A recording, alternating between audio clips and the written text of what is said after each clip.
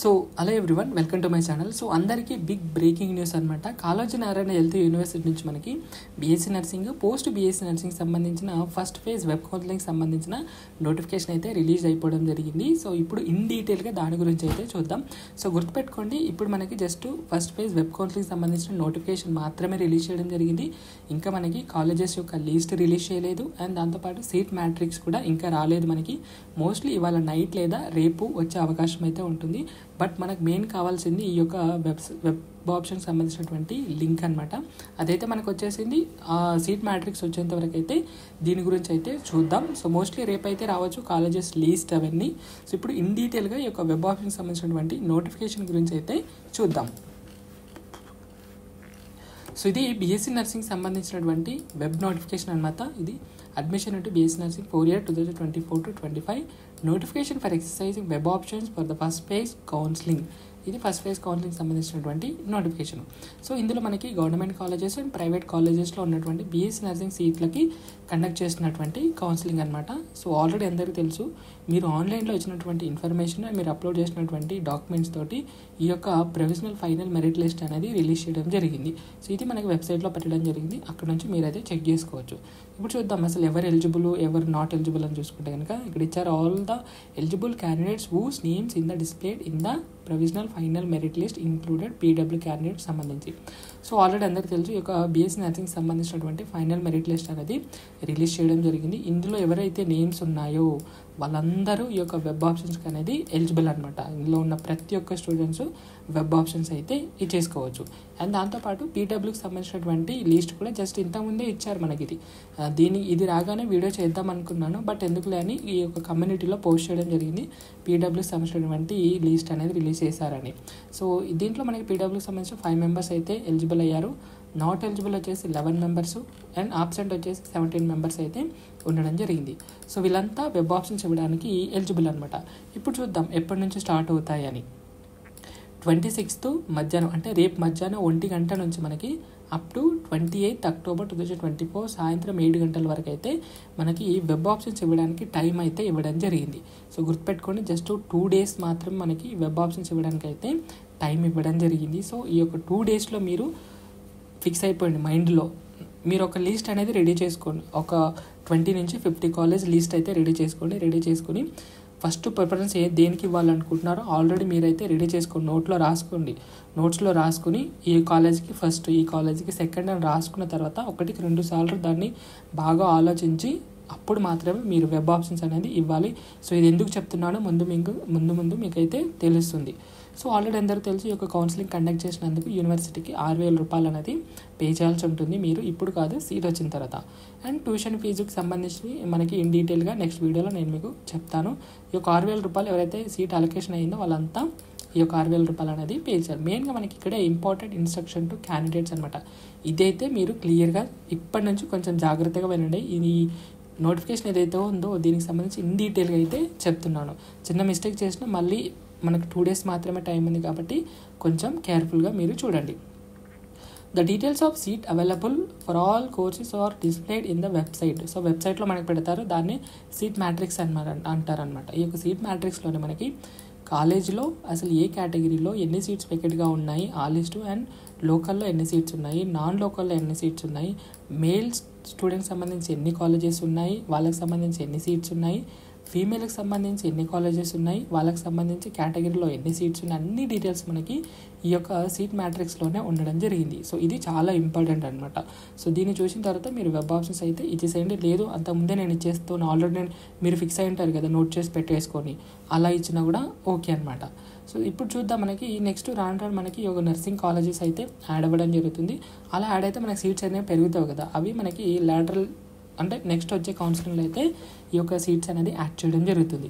So candidates can be exercise web option through link ఇక్కడ మనకి link ఇచ్చారు కదా ఈ యొక్క లింక్లోనే మనకి వెబ్ ఆప్షన్స్ అనేది ఇవ్వచ్చు. సో ఇది వెబ్ ఆప్షన్ ఇచ్చే లింక్ అనమాట ఇక్కడ వెబ్ కౌన్సిలింగ్ అని ఉంది కదా ఇంకా అప్డేట్ రాలేదు. ఎందుకంటే మనకి రేపు మధ్యాహ్నం నుంచి అయితే ఈ యొక్క వెబ్ ఆప్షన్స్ ఇవ్వడానికైతే లింకు ఎనేబుల్ అవ్వడం జరుగుతుంది. సో గుర్తుపెట్టుకోండి నేను మొబైల్లో ఇస్తాను ట్యాబ్లో ఇస్తాను అంటే కుదరదు. ఖచ్చితంగా మీరు ల్యాప్టాప్ లేదా సిస్టమ్ని అయితే యూజ్ చేయండి. ఈ రెండు లేకపోతే మీరు ఇంటర్నెట్ సెట్ సెంటర్కి వెళ్ళి అక్కడ మీ యొక్క వెబ్ ఆప్షన్స్ అయితే ఇచ్చేసేయండి. ఎందుకంటే వీళ్ళు already do not use tabs or mobile అని చెప్పడం జరిగింది కాబట్టి బెటర్ మీరు నెట్ సెంటర్కి అయితే వెళ్ళేసేయండి. సో ఇప్పుడు చూద్దాం మనం. Candidates can exercise web option all courses and all colleges to they are eligible if included in the merit list of the courses ఇప్పుడు చూద్దాం. అసలు ఎన్ని కాలేజెస్ ఇవ్వాలి ఏంటి అనేది చాలామందికి అయితే డౌట్ ఉంటుంది. సో ఎన్ని కాలేజెస్ కంటే అన్ని కాలేజెస్కి ఇవ్వచ్చు. ఎప్పుడు మీరు దేనికైతే ఎలిజిబుల్ అయ్యారో ఆ యొక్క కాలేజెస్ లిస్ట్కి ఉంది కదా అన్నిటికైతే ఇచ్చేసాయి అనమాట ఫర్ ఎగ్జాంపుల్ ఒక మెయిల్ స్టూడెంట్ సంబంధించి వెబ్ ఆప్షన్స్ ఇవ్వాలనుకున్నారు అనుకోండి. ప్రైవేట్ కాలేజెస్లో చెక్ చేసుకోవాలి ఫస్ట్ అందులో మెయిల్ సీట్స్ ఉంటే మాత్రమే దానికి ఇవ్వాల్సి ఉంటుంది. ఫర్ ఎగ్జాంపుల్ గవర్నమెంట్ సీట్లో మనకి గవర్నమెంట్ కాలేజ్లో మెయిల్కి సంబంధించి సీట్స్ ఉండవు. నేను దీనికి ఫస్ట్ ప్రిఫరెన్స్ ఇస్తానంటే కుదరదు. ఎందుకంటే అక్కడ సీట్సే లేవు కదా. అందుకని మేల్ స్టూడెంట్స్ ఉన్నారనుకోండి మేల్ కాలేజెస్ ఎక్కడ ఉన్నాయి ఎన్ని సీట్స్ ఉన్నాయని చూసుకుని వాటన్నిటికీ మీరు ఎన్ని ఉంటే అన్ని వెబ్ ఆప్షన్స్ అనేది ఇచ్చేసుకోవచ్చు అనమాట అలాగే ఫీమేల్కి సంబంధించి కూడా. సో వాళ్ళు ఎన్ని కాలేజెస్కి ఎలిజిబుల్ అయితే అన్ని కాలేజెస్కి అయితే మీరు వెబ్ ఆప్షన్స్ అయితే ఇచ్చేసేయండి అనమాట ఇచ్చే ముందు ఒకసారి ఈ యొక్క నోటిఫికేషన్ ఉంది కదా అది చదువుకోండి అని అయితే వీళ్ళు చెప్పడం జరుగుతుంది. అండ్ దాంతోపాటు మెయిన్ ఇంపార్టెంట్ థింగ్ వచ్చేసి ఇప్పుడు చూడండి. Candidates are informed to they have to exercise option to the courses and colleges in which they are interested to join గుర్తుపెట్టుకోండి మీరు ఫస్ట్ ప్రిఫరెన్స్ ఇస్తున్నారు అంటే ఒక కాలేజీకి అందులో సీట్ వస్తే పక్కా జాయిన్ అయిపోవాల్సిందే.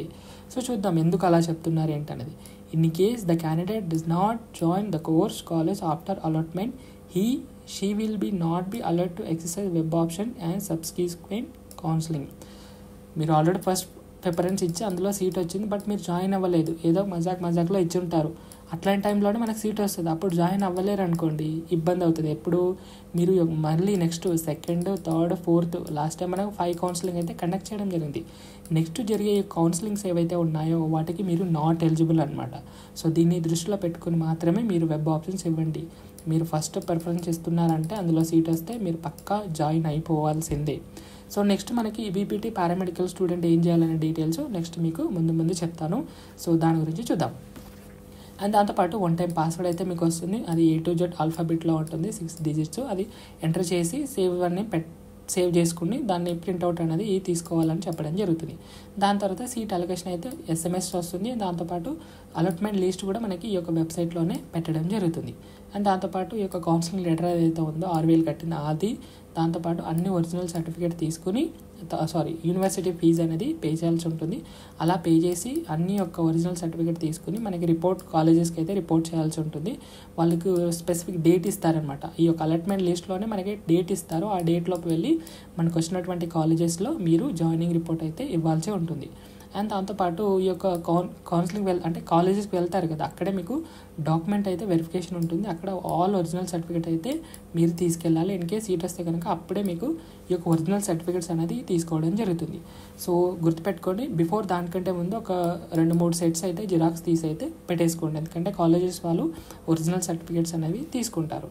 సో మెయిన్గా మనకు వచ్చి ట్వెల్త్ పాయింట్ అనమాట సో ఎవరైతే బీపీటీకి సంబంధించి అండ్ పారామెడికల్కి సంబంధించి అప్లై చేయాలనుకుంటున్నారు. ఎవరు ఈ యొక్క బీఎస్సీ నర్సింగ్ సంబంధించి ఫైనల్ మెరిట్ లిస్ట్లో ఉండి ఒకవేళ బీఎస్సీ నర్సింగ్ సీట్ వస్తే బీపీటీ పారామెడికల్కి అప్లై చేయొచ్చా? చేస్తే ఏ విధంగా చేయాలనేది ఇప్పుడు ఇన్ డీటెయిల్గా చెప్తాను. ఈ యొక్క పాయింట్ మాత్రం కొంచెం జాగ్రత్తగా అయితే వినండి.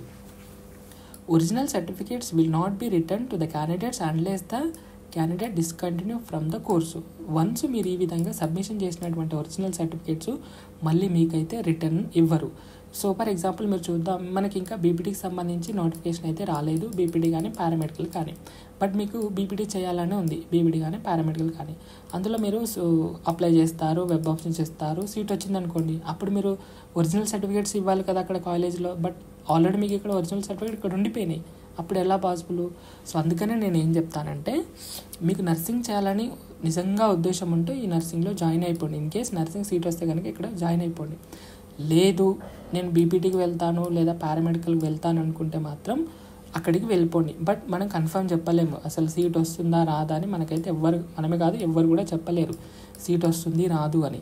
బట్ వాళ్ళకైతే ఇంకొక ఆప్షన్ ఉంది ఏంటంటే మీకు నర్సింగ్ ఇష్టం లేదు బట్ జాయిన్ అయిపోయింది ఎందుకంటే ఆల్మోస్ట్ మీకు ఫిఫ్టీ పర్సెంట్ సీట్ వచ్చేసినట్టే ఇక్కడ మీరు సీట్ అలాట్మెంట్ అవన్నీ తీసుకుని వెళ్ళిపోతారు కదా.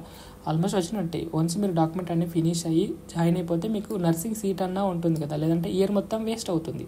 సో ఇలా ఈ విధంగా జాయిన్ అయిపోయి దాని తర్వాత మీకు ఈ యొక్క బీపీడీ కానీ పారామెడికల్ కానీ నోటిఫికేషన్ వస్తుంది కదా అప్లై చేసేసేయండి. వెబ్ ఆప్షన్ చేసేసేయండి అండ్ ఫైనల్గా మనకి సీట్ అలాట్మెంట్ లిస్ట్ అయితే వస్తుంది. అందులో మీ యొక్క నేమ్ ఉంటే కనుక అప్పుడు మీరు ఏం చేయాలంటే మీరు ఆల్రెడీ జాయిన్ అయ్యారు కదా ఆ యొక్క ప్రిన్సిపల్కి మీరైతే రిక్వెస్ట్ చేయాల్సి ఉంటుంది. రిక్వెస్ట్ చేసిన మోస్ట్లీ ఇవ్వరు బట్ మీరు ఎలా రిక్వెస్ట్ చేస్తున్నారనే దాన్ని బట్టి ఉంటుంది. ఇన్ డీటెయిల్గా అయితే నేను ఈ వీడియోలో అయితే చెప్పదలుచుకోలేను. సో ఆల్రెడీ మీకు తెలుసు ఎలా కన్విన్స్ చేయాలి ఏంటన్నది. ఆ విధంగా కన్విన్స్ చేసి అక్కడ నుంచి మీరు డిస్కంటిన్యూ అయ్యి మీకు ఒరిజినల్ సర్టిఫికేట్స్ అనేది బీపీటీ కానీ పారామెడికల్ కాలేజ్లో కానీ సబ్మిషన్ అయితే చేసేసేయండి. మోస్ట్లీ ఇదే రీజన్ చెప్పండి. ఏం లేదు. సార్ నాకు బీపీటీలో సీట్ వచ్చింది నేను వెళ్ళిపోతానంటే పంపించవచ్చు మంచి ప్రిన్సిపల్స్ అనుకోండి పంపిస్తారు. వేరే వాళ్ళు అయితే పంపిస్తారు. ఎందుకంటే ఆయన ఒక స్టూడెంట్ సంబంధించినటువంటి ట్యూషన్ ఫీజు కానీ ఇయర్కి సంబంధించి అన్నీ లాస్ అయిపోతారు కదా. మనీ అనేది లాస్ అవుతారు. అందువల్ల వాళ్ళు ఆలోచిస్తారనమాట సో ఏ విధంగా కన్విన్స్ చేస్తారో అది మీ మీద డిపెండ్ అయ్యి అయితే ఉంటుంది. సో ఈ విధంగా ఇది గుర్తుపెట్టుకొని మాత్రమే మీరు నర్సింగ్లో అయితే జాయిన్ అయిపోండి అనమాట సో ఇది విషయం అండ్ దాంతోపాటు ఏమైనా డౌట్స్ ఉంటే కనుక ఏది టెక్నికల్ వెబ్ బాక్స్కి సంబంధించి ఏమైనా డౌట్స్ ఉంటే ఇక్కడ నెంబర్ ఇచ్చారో వాటికైతే మీరు ఫోన్ చేసేయండి. అండ్ దాంతోపాటు వన్స్ మీరు ఏదైతే పే చేశారో యూనివర్సిటీ ఫీజు కానీ అదైతే మళ్ళీ రిటర్న్ అయితే ఎనీ సర్కమ్టెన్స్లో కూడా అయితే రాదు. అది మీరు పోగొట్టుకున్నట్టే. సో మనీ అంతా వేస్ట్ అయిపోతుంది. చాలా జాగ్రత్తగా మీరు ఒకటికి రెండు సార్లు ఆలోచించి ఈ యొక్క వెబ్ ఆప్షన్స్ అనేది ఇచ్చేసేయండి. సో యాజ్ సూన్ మనకి ఈ యొక్క తెలంగాణ స్టేట్లో ఉన్నటువంటి colleges list and seat matrix కూడా రాబోతుంది. అది రాగానే నేను మీకు మళ్ళీ ఇన్ఫామ్ చేస్తాను. బిఫోర్ దానికంటే ముందు ఈ యొక్క కాలేజెస్ ఉంది కదా ప్రీవియస్ సంబంధించి ఇక్కడ మనకి వెబ్సైట్ ఇది. ఈ యొక్క వెబ్సైట్లోనే మనకి ఇవ్వడం జరిగింది. ఇక్కడ అఫిలేటెడ్ కాలేజెస్ అని ఉంది కదా దీని మీద టిక్ చేసేసేయండి. ఈ యొక్క నర్సింగ్ సంబంధించి బిఎస్ఎన్ఎస్ ఫస్ట్ మనకి గవర్నమెంట్ కాలేజెస్ ఇవి. సో ఇవన్నీ నోట్ చేసి పెట్టుకోండి. ఫస్ట్ మీ యొక్క డిస్టిక్లో ఏ కాలేజెస్ ఉన్నాయో అవి నోట్ చేసి పెట్టుకోండి. దాని తర్వాత మీ నియర్ బై తర్వాత మీరు ఏదైతే ఇంట్రెస్ట్ ఉన్నారో ఆ యొక్క కాలేజెస్ లిస్ట్ అన్నీ రెడీ చేసుకొని అప్పుడు మీరు వెబ్ ఆప్షన్స్ అయితే రెడీ చేయండి. నేను సజెస్ట్ చేసేది ఏంటంటే ఒక వైట్ పేపర్ తీసుకొని వన్ నుంచి ఫిఫ్టీ లేదా ఎన్ని కాలేజెస్ ఉంటే అన్ని కాలేజెస్ రాసుకొని సో దీనికి నేను ఫస్ట్ ఇవ్వాలనుకుంటున్నాను దీనికి సెకండ్ ఇవ్వాలనుకుంటున్నాను దీనికి థర్డ్ ఈ విధంగా మీరు ఒకసారి ఈ యొక్క లిస్ట్ అనేది రెడీ చేసేసుకోండి. రెడీ చేసుకుని కొంచెం టైం తీసుకోండి. అంటే మన మైండ్ సెట్ ఎప్పుడు ఎలా మారుతుందో తెలియదు కదా. కొంచెం టైం తీసుకుని దాన్ని ఒకటికి రెండు సార్లు చదువుకుని అప్పుడు మీరు ఓకే అనుకున్న తర్వాత మీరు రెడీ చేసుకున్నటువంటి లిస్ట్ ఏదైతే ఉందో అది ఇక్కడికి వచ్చి ఏది రేపు మధ్యాహ్నం మనకి స్టార్ట్ అవుతుంది కదా అక్కడికి వచ్చి మీరు వెబ్ ఆప్షన్స్ అయితే ఇచ్చేసేయండి అనమాట సో రిస్క్ ఎందుకు తీసుకుంటారో ఇన్కేస్ చిన్న మిస్టేక్ చేసినా మనకి చాలా ఇబ్బంది అయితే అవ్వడం జరుగుతుంది. సో ఇదనమాట విషయం. నేను బిఏ పోస్ట్ బిఎస్ నర్సింగ్ సంబంధించి కూడా సేమ్ ఇదే ప్రాసెస్లో అయితే వెబ్ ఆప్షన్స్ అయితే ఇవ్వవలసి ఉంటుంది. సో ఏం చేంజెస్ అయితే ఉండవు. సో మోస్ట్లీ ఇందులో కూడా ఒరిజినల్ సర్టిఫికేట్స్ సో సేమ్ అనమాట సో ఇది వీడియో ఇప్పటికే లెంత్ ఎక్కువైపోయి ఉంటుంది. సో అర్థమైంది అనుకుంటాను లేదు ఇంకా ఏమైనా డౌట్స్ ఉంటే ప్లీజ్ కమెంట్ సెక్షన్లో కమెంట్ చేసేసేయండి. Thank you. Thank you so much